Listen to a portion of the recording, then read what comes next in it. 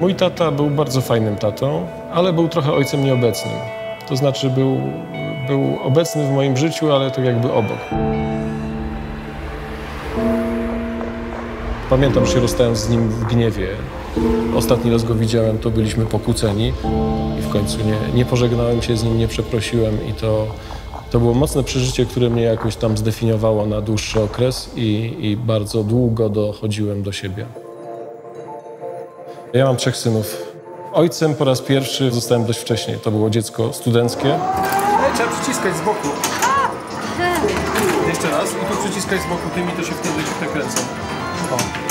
Nie grałeś nigdy w takie? Grałem, ale na telefonie. Szczerze mówiąc, chyba nie byłem dojrzały emocjonalnie do ojcostwa. Dużo czasu spędzałem w pracy. Ciągle jeszcze wydawało mi się, że jestem młodym człowiekiem, który jest żądny życia i brania od niego tyle, ile się da. Patrz gra. I w pewnym momencie wydawało mi się, że, że jest między nami jakaś bariera. To jest zaskoczenie. To uczucie e, tego, że nie znamy własnych dzieci, to jest zaskoczenie, a potem smutek, bo jednak e, byłem przekonany, że jestem znacznie lepszym ojcem. Dobra, przytrzymaj. O, pięknie. Ja.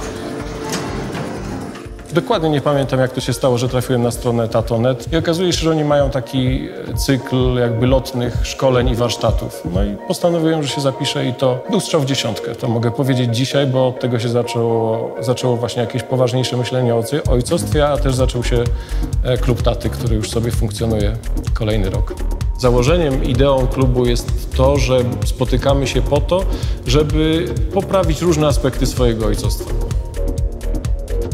Raz w miesiącu spotykamy się na półtora do dwóch, do dwóch godzin. Jest jakiś temat przewodni i zawsze jest osoba, jeden z ojców, e, odpowiedzialna za przygotowanie tego tematu. Ma miesiąc na to.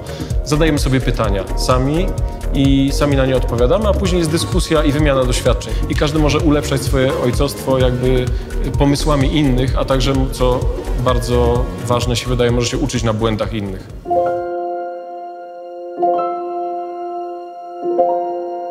Mam świadomość tego, że jestem dla nich ważny, że jestem kimś wyjątkowym. Chciałbym, żeby mieli tego świadomość, że ja ich kocham bezwarunkowo. To znaczy, że jeśli coś im się kiedyś w życiu, nie daj Boże, przydarzy, mogą bezwarunkowo przyjść i zawsze dostaną ode mnie pomoc, na ile to będzie możliwe. To jest jakby w sumie jeden z moich strategicznych, priorytetowych celów w życiu.